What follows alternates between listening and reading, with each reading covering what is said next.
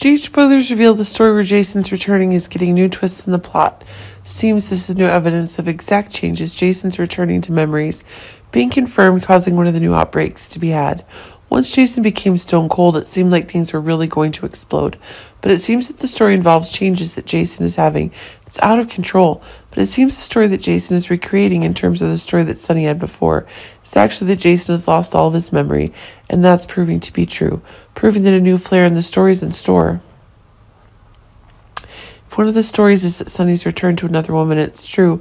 Carly's been dumped. This is causing a new crisis to be had. But it seems that when he returns this time, Jason's returning with information about his new wife, and it seems this is making Sam and Carly really shocked.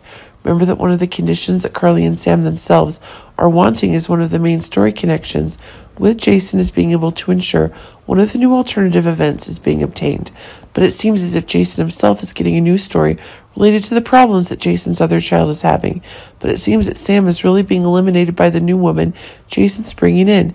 Keep in mind that the power Jason has on the show is still one of the most explosive events, and this is making big story that's being had where it seems like Jason himself is being controlled by a plot is absent.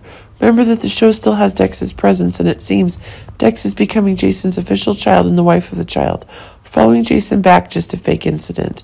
Remember that it was Dex who always fought with Sonny to ensure the rights that Jason was getting were guaranteed. But it seems that as things go further, Dex himself needs to confess he's Jason's son, and that's causing one of the new changes being made take place. But it seems like one of the new twists is making things go even further, proving this crazy story that Dex has with Carly is in need of clarification. But what if the person behind Jason's dangerous actions is getting even more explosive ideas and it's true the fragmentary memories that Jason is having are actually one of the new dangers, but it seems exact story Carly's getting, causing one of the new twists to be confirmed. But it seems even though Jason is being treated by Liz and Terry, he's unable to control his mind, which is proving that one of the new outbreaks is happening. But it seems that if one of the disastrous ideas Jason's fake wife is having leaking, it's Carly and Sam who are getting explosive new information. And that's really making because things are changing day by day.